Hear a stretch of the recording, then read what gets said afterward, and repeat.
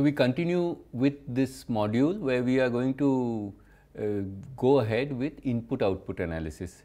In the previous uh, module, we looked at the basics of input output analysis. We looked at Leontief's initial formulation.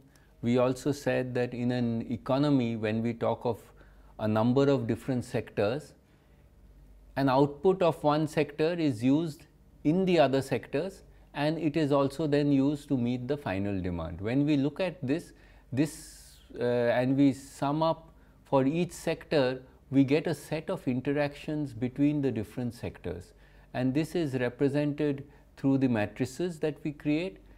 We then for the input output we said that the requirement of let us say steel for automobiles depends on the total output of the automobiles and these requirement this uh, correlation is assumed to be linear. So, with linear constants when we have the direct coefficients we create a matrix equation it is a set of linear equations uh, in the n variables and with that we can see that if the final demand for one our sector increases what happens to the rest of this. So, we then talked about two sets of coefficients the direct coefficient which is the direct requirement um, let us say of steel for agriculture or steel for electricity or agri uh, agricultural output for chemicals uh, and then we have the total which is direct plus indirect and we did this by then creating the matrix uh, creating the Leontief index uh, inverse matrix and then that relates to the final demand. So, that any change in final demand results in a corresponding requirement or a change in the output of the different sectors. When we created that matrix, we saw that the diagonal uh, element of that matrix is greater than 1, which is sort of intuitive because if we need a certain amount of final demand for steel, because of that final demand for steel, to produce that we will need other chemicals, we will need electricity. For that chemicals and that electricity again we need a certain amount of steel. So, when we couple that up we will see that for uh, the diagonal elements will all be greater than 1. Uh, now, to take this forward just to illustrate this um, from the book by Miller and Blair on input output analysis, I would like to just show you um, some examples of aggregate for a country input output tables and what they mean. So, this is a the US uh, this is the A matrix which we talked about. This is Aij for the US and this is a 7 sector 7 by 7 matrix if you can see. If you look at this, let me just get the laser point. You can see uh, for agriculture from 1 to 1 is the agricultural products being used for agriculture. Then agricultural products being used for mining, for construction, for manufacturing, for trade, transportation, utilities, for services and for others. And similarly mining to this, manufacturing to variety of things and services going to variety of things and so you can see all of these are between 0 and 1 and this is the total. Now, when we take this A matrix we can write down for this matrix we can calculate I minus A and then take the inverse of that and that gives you the matrix which we are talking of. This is the inverse matrix that we are looking at and this is the L matrix. Okay. So, this is the matrix that we calculate. Uh, if you uh, look at this is the Leontief inverse that we are talking of. Now, if you see the diagonal elements, uh, agriculture is 1.26 which means that an increase in the final demand of agriculture by 1 unit results in a net overall requirement of increase in agricultural products by 1.26 because that an increase of agriculture requires all other inputs from the other sectors which again in turn requires the amounts from the agriculture. So, you can see all the diagonal elements 1.26, 1.07, 1.0047, 1.34, 1.008, 1.41, 1.03 all the diagonal elements are greater than 1 all the off diagonal elements are obviously less than 1 they are between 0 and 1 and so this is the L matrix. We could then take the L matrix and see what happens when you if you change the final demands. So the assumption in the input output method is that these coefficients are static and these coefficients remain constant.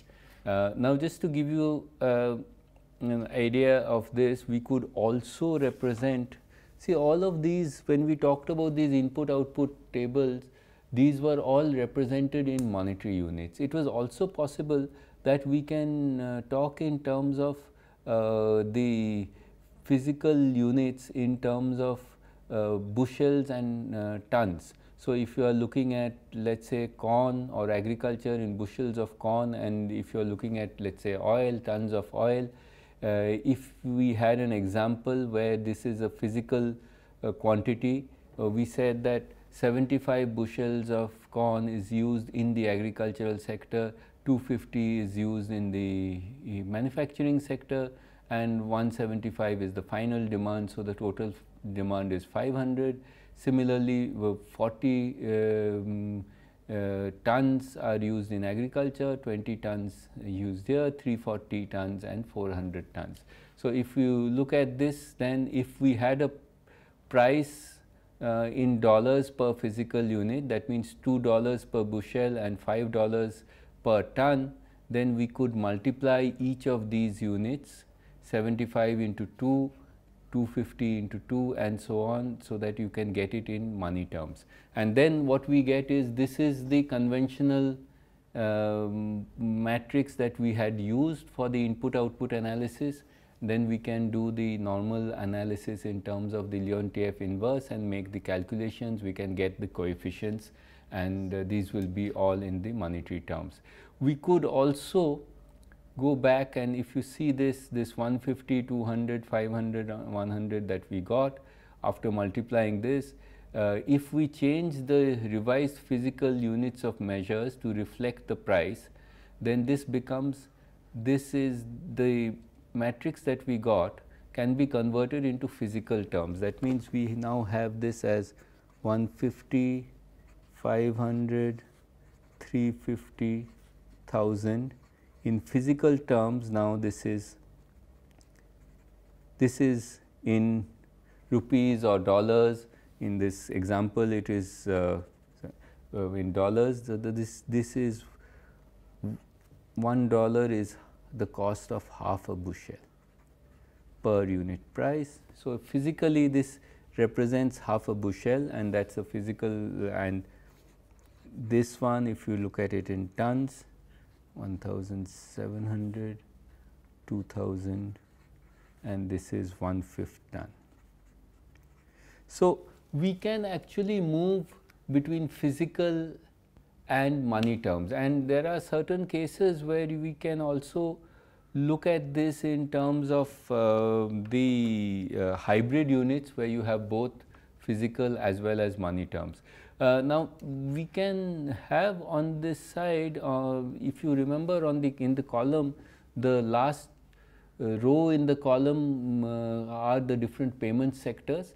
One of them could be wages and uh, if we look at this, this is the wages 650, 1400, 1100, 3150 and if you look at this in terms of the uh, output, you will see that the wages or the labor or the employment is 650 by 1000 and so that unit is we can get a coefficient which is 650 by 1000 which is 0.65 and 1400 by 2000 which is 0.7 and these are representing uh, the employment factors or the employment index per unit of the money that we are spending in that sector. And this could be useful for instance if we were thinking in terms of instead of coal we go for renewables and we go for photovoltaics. We can see the growth in the different two different sectors. We can have an employment factor in terms of ratios and then see how many jobs are uh, being created how many jobs are being lost. Uh, and so that that's an interesting way in which we can look at that so the, we could actually take for instance the uh, ratios of this and then use that to then calculate what is the uh, amount of labor under different conditions. Um, we can uh, make a composite index of uh, energy for instance in the case of US we saw the um, input output um, matrix for a particular year. We can also draw as we have seen in the initial lectures, we saw the Sankey or the energy balance diagram for the world and for India. And these diagrams will represent the relative proportions of the different fuels and the flows in different sectors. And this can be then converted into, so we could have the input output in terms of some sectors, the energy sectors and non-energy sectors. So, we could create a hybrid input output table where your transaction mat matrix has energy units and money units.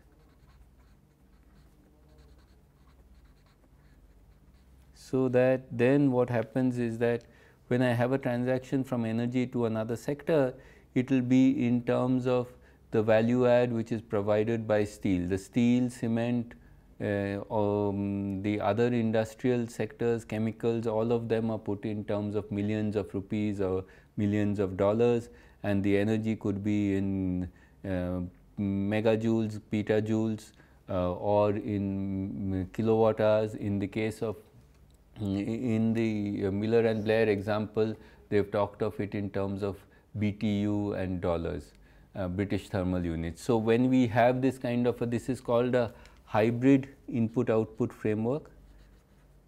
Please remember this is equivalent to the same thing. We can take the hybrid, the energy terms, multiply it by the price and then convert it into the conventional input output table that we had seen earlier which would be everything in money terms and then we can see the amount of electricity uh, which is in money given uh, to uh, the industry sector.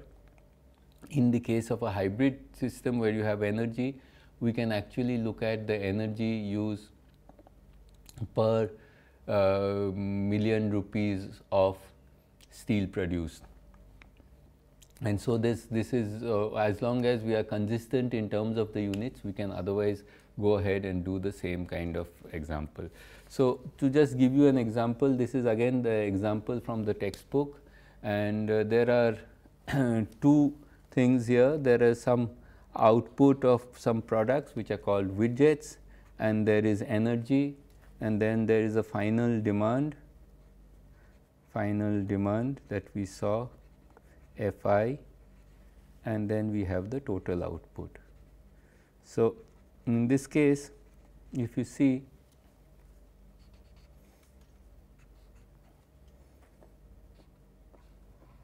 ten um, million dollars of widgets being used for the widgets for making the widgets and uh, 10 million dollars of widgets being used for the 20 million dollars for the energy sector and 70 is the final demand for widgets. So, total when we add it up this is 100 million dollars and in this case it is 30, this is 40 and this is 50, this is 120. So, in quad, quad BTU this is given in terms of this can the same the same row can also be represented.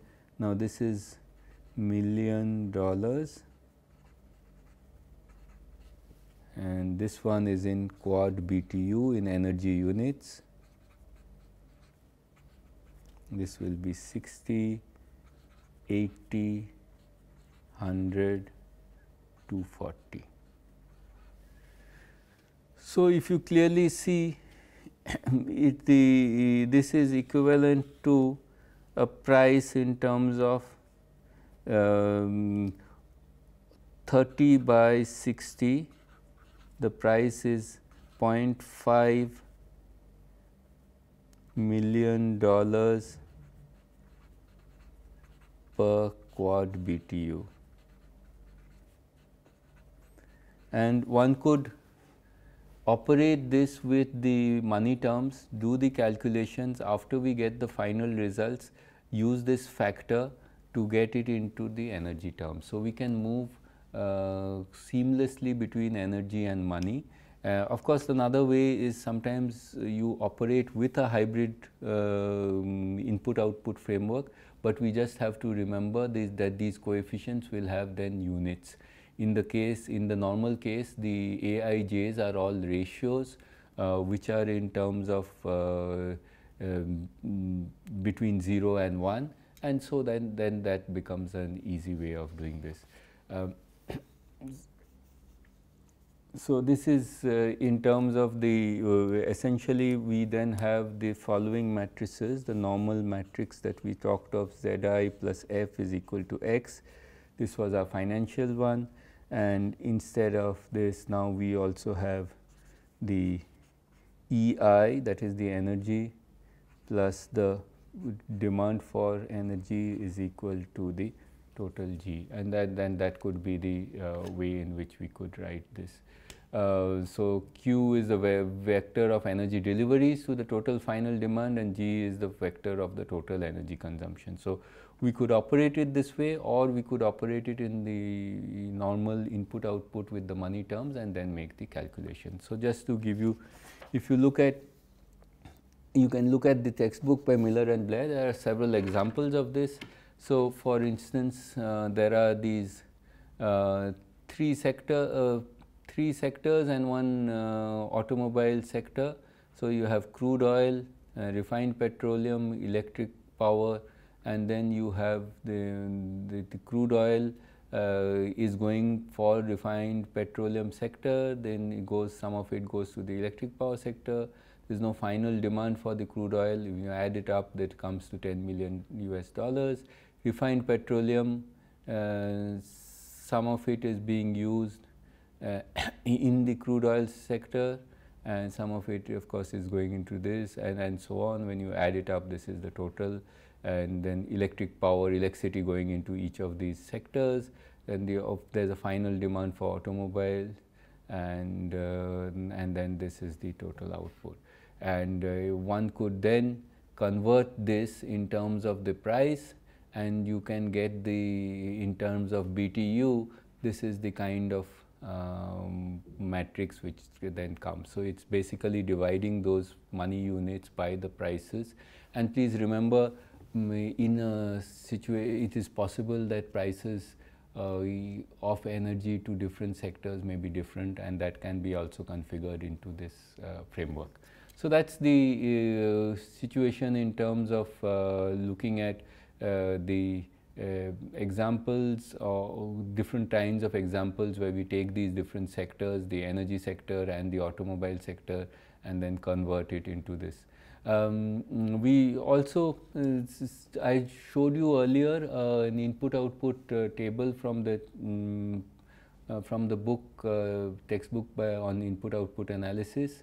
And similar kind of input output table is shown here which is now a hybrid unit. And this hybrid unit has uh, transactions millions of dollars for non-energy sector and in quads or 10 raised to 15 BTU for the energy sector. So, you can see basically coal mining, oil, natural gas, petroleum, utilities, gas utilities, all of these will be in BTU. The chemicals, agriculture, mining, transport and uh, communication, rest of economy are all going to be in um, the money terms. And then we can make the, uh, if we know the prices, we can convert it into a money term uh, aspect and then do. And uh, so we saw last time that the uh, numbers in terms of direct coefficients for 2003. Please remember that as the economy changes, you will find that the coefficients also will change. And so, when we talk about input output analysis, if we are taking fixed coefficients, that will be valid only for short term kinds of calculations. If you are looking at long term calculations and if the structure changes, it is quite likely that there will be very significant changes. Even when we compare, you can take this uh, mm, table uh, with the values and compare it with the 2003 coefficients and you will find that there are some changes in, in, some of these coefficients and over a longer period of time you will see that these coefficients change quite significantly. For instance, the energy used for industry may decrease if there has been significant improvements in energy efficiency and so that those are, that's the way in which these coefficients and if you look at the total coefficients, now this is after we take that same, if you take this 2006 matrix that we had, Kate i minus a, take the inverse of that, that will give you the Leontief inverse and you will find then that these coefficients, we, we talked about the diagonal coefficients being greater than 1 and you can remember, you if you remember the um, uh, earlier in 2003, this value was lower than this, this is now almost 1.6 times and, and so on. So, this gives you an idea of how you can use this and then also that these things change. And that is just to show you another set of data, this is the 97 data and you can clearly see when you take 97, 2003 and 2006, um, you can see quite clearly there are reasonable differences in all of this. And uh, so, we will take an example. Before we take that example, let me talk to you about the way in which this can be used to assess the impact of different kinds of possibilities for a particular sector. So, this is one of the papers, uh, one of the research work done by one of our PhD students and you can see this paper, you can look it up in the energy journal. It's an integrated modeling framework for energy economy and emissions modeling and this is a case study for India. Uh, so, in this if you see the approach that we had was we essentially looked at uh, the emissions intensity. The emissions intensity is the emission per unit of GDP and we broke up the emission intensity into the difference in terms of the energy intensity of the GDP and the sectoral contribution to the GDP. So, typically what happens is in any uh, in any country the GDP comes from a whole set of different uh, sectors. So, if you look at it we typically the most important sectors are industry, services and agriculture. And over a long period of time, if you look at India for instance over the last 10, 20 years, you will see that the share of agriculture in the GDP has been declining, share of services has been increasing, share of industry more or less remain constant, slight increases, slight decreases. So, when we look at this, what has happened is that the share of services in the total GDP has been much higher than has grown and uh, as compared to the industry and industry share has declined a bit. Now, if we look at the energy requirement for industry and for the high energy intensive industries, that energy requirement is much higher per million rupees of value add as compared to something in the services sector. And uh, in the services sector, uh, at most you need something the energy for the air conditioning and uh, space cooling. Um, but in industry, we are looking at manufacturing and transformations and so there's much more energy intensive. So we can, the first thing is we did a decomposition analysis to see what is the share of, what is the breakup of the share uh, of the sectoral contribution and uh, the uh, how much of energy intensity improvements and then we got ranges for these parameters. This is from the past and from that we started with a particular base year and then made projections for the target year. So, in, when we looked at the projections we projected different possible scenarios for India in terms of industrial growth, services growth and agricultural growth and based on that we got the took an input output model uh, with some coefficients and then saw when we looked at this with the kind of investments required we also built a detailed model for the power sector. And uh, for this kind of requirement we estimated what is the demand for electricity then saw what kind of new capacities have to be added. We tried to do an optimization model under different scenarios and using that we estimated what is the total demand for goods and services and then ran an input output um, method to model to see what will happen in different sectors. And this then gives us an idea to see, we then saw what is the impact of different household classes and the income and income distributions. And if you remember earlier, we talked about equality and inequality in incomes and we talked about the Gini coefficients. So, after looking at this kind of investments in the energy sector and whether how, how, much is the government and private investment, based on that we tried to see what will be the investment in the other sectors and as a result of that we tried to see the impact on the income and income distribution. So, this is basically the method. It is a set of coupled models there is an optimization model of the power sector, there is an input output model and then there is a decomposition analysis and different scenarios. So, under each of these scenarios we first identified different drivers. We took a high services scenario, high industry scenario and then we looked at the additional investment either if it is if the investment which is made uh, have been proportional uh, cutbacks from each of the sectors or the additional investment from cutbacks in welfare sector. And then in the power sector, we ran two scenarios where there is no restriction on emissions and we go for the minimum cost or if there are restrictions on emissions and then the initial investments may be higher. And based on that, we could actually see under these scenarios what happens in terms of the growth rates and the per capita income and interestingly, we can also see the difference in the Gini coefficient. So, for instance, uh, in this case, uh, in the case when we have more restrictions on emissions, we see that it results in a slightly higher inequality. And this is just the numbers are not that important. You can look at the details in the paper, but basically it gives you an illustration of how input output analysis can be used to answer what if questions about the impacts of policy. Um, so, that is basically the idea of how this input output analysis can be used at the aggregate level for the energy sector.